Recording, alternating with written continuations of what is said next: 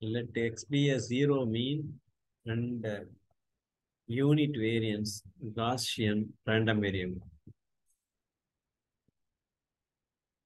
Therefore, uh, its uh, probability density function f of x equal to 1 by root 2 pi e power minus x square divided by 2.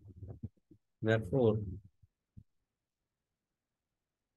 expectation of modulus of x that is required that is equal to integral of minus infinity to plus infinity modulus of x e power minus x square divided by 2 divided by root 2 by dx.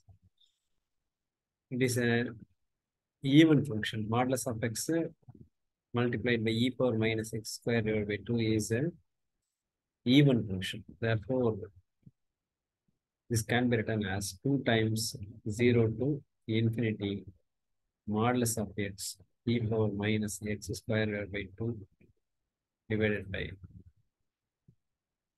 square root of 2 pi into dx.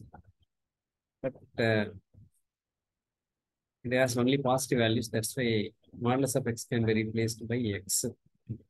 Therefore, that is equal to 2 times integral of 0 to infinity e power minus x square divided by 2 divided by square root of 2 pi x dx. Let x square divided by 2 equal to d. This means 2x dx divided by 2 equal to dt. And as x tends to 0, t also tends to 0. When x tends to infinity, t also tends to infinity. Therefore, this integration becomes uh, this integration becomes 2 times integral of 0 to infinity e power minus t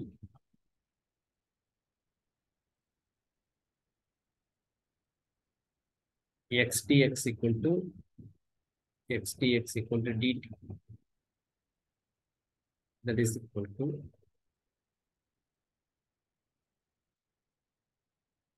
minus e power minus t.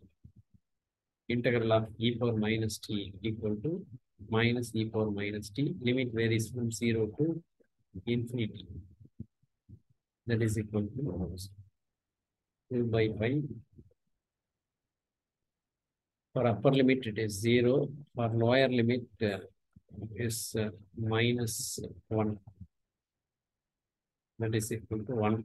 Therefore, square root of two by pi, that is equal to 0.797. That is approximately equal to 0.8.